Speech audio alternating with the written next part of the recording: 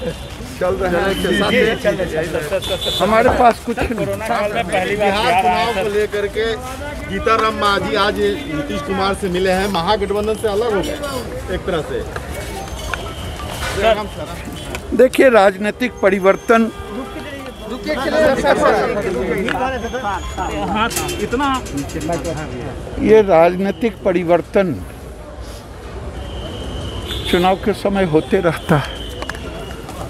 चिराग पासवान लगातार निशाना साध रहे हैं। चिराग पासवान सरकार पर निशाना साध रहे हैं चिराग पासवान एनडीए में रहकर। एनडीए में रहते हुए।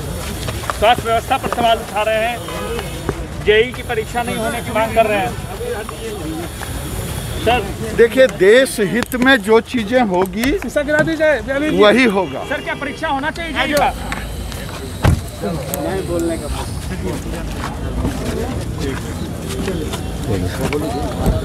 जी प्रणाम।